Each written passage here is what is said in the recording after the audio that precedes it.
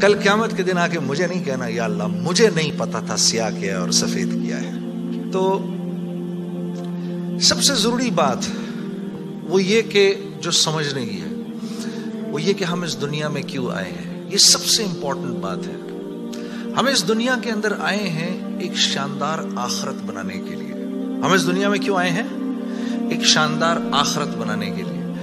जो इस नीयत से दुनिया में ज़िंदगी गुजारता है, अल्लाह रब्बुल इज़्ज़त दुनिया उसकी खुद बनाते हैं। इंसान अपनी मेहनत से अपनी दुनिया नहीं बना सकता। इंसान अपनी मेहनत से अपनी दुनिया नहीं बना सकता। वो अपने आप को नहीं बना सकता तो बाकी दुनिया क्या बनाएगा? ठीक है? मैं चाहूँ कि मैं, मेरी जवानी कभी बुढ़ापे की तरफ़ ना जाए, ये हो नहीं सकता। मेरा अपने ऊपर तो ज़ोर चलता नहीं है। ना मैं अपनी मर्ज़ी से आया, ना अपनी मर्ज़ी से रह रहा हूँ, और ना अपनी मर्ज़ी से दुनिया से जाऊँगा। ये कैसी दुनिया है कि इसकी कोई भी चीज़ मेरे काबू में नहीं है? आप यहाँ रहते हैं, मैं कराची में रहता हूँ, कोई लाहौर में रहता है, कोई पिंडी में रहता है, और आपको पता है कि यहाँ आप अपनी मर्ज़ी से नहीं आए हुए। ये भी बड़ी अजीब बात है। कुरान में अल्लाह फरमाते हैं, पाँच चीज़ें ऐसी हैं जिसके बारे में कोई नहीं जानता, जो इसके बारे में जो बात कर रहा है, सब गलत कर रहा है। पाँच चीज़ें कौन सी हैं? सबसे पहले इन अल्लाह अल्लाह कहते हैं, सिवाय अल्लाह के कोई नहीं जानता क्यामत कब आएगी। वयुनजिलगैस बारिश ने कब कहा और कितना बरसना है कोई नहीं जानता। रिस्क किसके पास कितना पहुंचेगा? अल्लाह फरमाते कोई नहीं जानता, सिर्फ़ मैं जानता हूँ। वयालम माफिल अरहम माँ के रहम में ये तो मालूम कर लेते हैं कि बेटा है या बेटी है, लेकिन अल्लाह फरमा रहे ये नहीं मालूम कर सकते कितना जिएगा, कितना कहाँ रहेगा, क्या खाएगा, क्या पिएगा, नेक होगा, बद होगा, फरमाबरदार होगा, नाफरमान होगा। अल्लाह फरमाते कोई नहीं जानता। फिर अल्लाह फरमा रहे वमा तदरी नफ्सुमाजा तकसीबु गदा. कोई नफ्स ये नहीं जानता, इंसानों को छोड़ो। कीड़े मकोड़े भी ये नहीं जानते कि कल उनको उनका रिज्क कहाँ से मिलेगा। मुझे नहीं पता था कि आज मैं खाना यहाँ बैठ के खाऊँगा। कोई आइडिया नहीं, अल्लाह कहते कोई नहीं जानता। फिर अल्लाह कह रहे हैं, पांचवी चीज़, वमा तदरी नफ्सुम भी अर्दिन तमूत. किसी नफ्स को नहीं पता कि उसको मौत कब आएगी और कहाँ आएगी। वमा तदरी नफ्सुम पे अर्दिन तमूत। किसी नफ्स को नहीं पता, उसको उसकी मौत कल कहाँ आएगी ये पाँच चीज़ें कोई नहीं जानता। अब इन पाँचों चीज़ों का बरह रास्त हमारी ज़िंदगी से ताल्लुक है। तो फिर ये कैसी ज़िंदगी है, ये कैसी दुनिया है, जिसके बारे में मैं कुछ भी नहीं जानता। तो अल्लाह रब्बुल इज़्ज़त ने दुनिया का बनना, बिगड़ना, ये इंसान के हाथ में नहीं रखा। इंसान के हाथ में नहीं रखा। और इख्तियार कितना दिया? हम कहते हैं ना, भाई, इंसान को इख्तियार है। भाई, इख्तियार कितना दिया? इख्तियार इतना दिया, किसी ने हज़रत अली करम अल्लाह वज़ू से पूछा कि, हज़रत, ये मेरे पास दुनिया में कितना इख्तियार है? कहा, एक टांग उठाओ अपनी। तो उसने अपनी एक टांग उठा ली। कहा, जी, दूसरी उठाओ। कहा, जी, वो नहीं उठा सकता। कहा, बस इतना इख्तियार है तेरे पास। इंसान के पास इतना इख्तियार है। और जो इख्तियार है, वो क्या है? ये जानना बड़ा ज़रूरी है। इंसान के पास क्या इख्तियार है?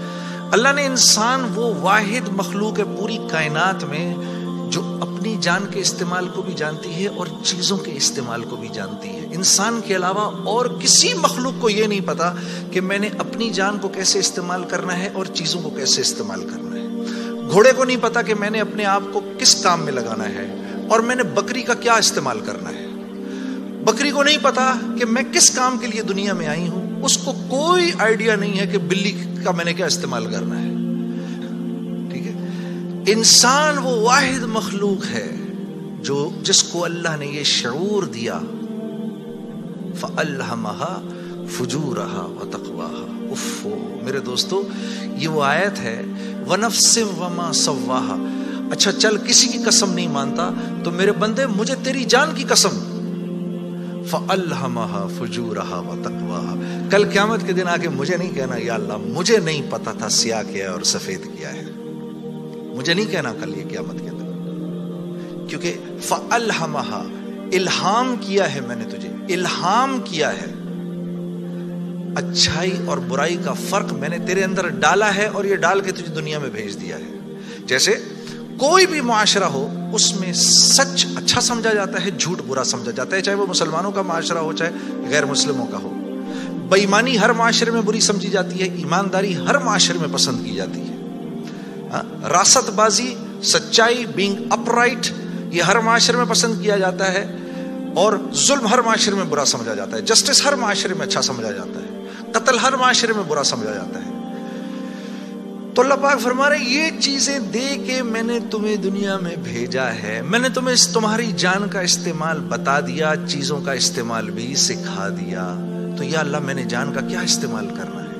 मैंने जान का क्या इस्तेमाल करना है? हा?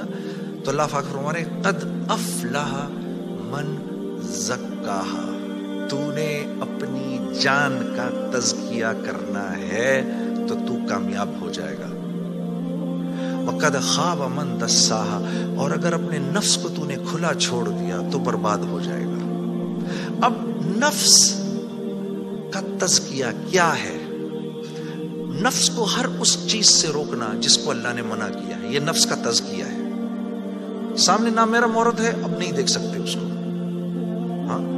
वो सामने से आई, नज़रें झुका ली। अब नज़रें झुका ली, उसी लम्बे पिछले सारे गुनाह माफ़ हो जाते हैं। और अल्लाह ईमान की वो हलावत देते हैं जो आप नमाज़ में महसूस करेंगे। फिर आप नहीं कहेंगे कि जी, मैं नमाज़ पढ़ता हूँ, मेरा तो ध्यान उधर निकल जाता है। फिर आप नहीं कहेंगे। कान को हर वो चीज़ सुनने से रोकना जिसको अल्लाह ने मना किया, हर उस चीज़ को सुनना, जिसका हुक्म दिया। हाथ को हर उस जगह इस्तेमाल करना, जिसका हुक्म, हर उस चीज़ से रोकना, जिससे मना किया।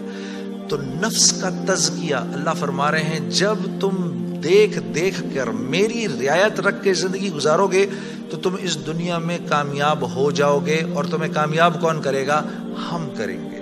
तुम खुद कामयाब नहीं हो सकते। से मना किया। तो नफ्स का तजकिया, अल्लाह फरमा रहे हैं, जब तुम देख देख कर मेरी रियायत रख के ज़िंदगी गुजारोगे तो तुम इस दुनिया में कामयाब हो जाओगे और तुम्हें कामयाब कौन करेगा? हम करेंगे। तुम खुद कामयाब नहीं हो सकते।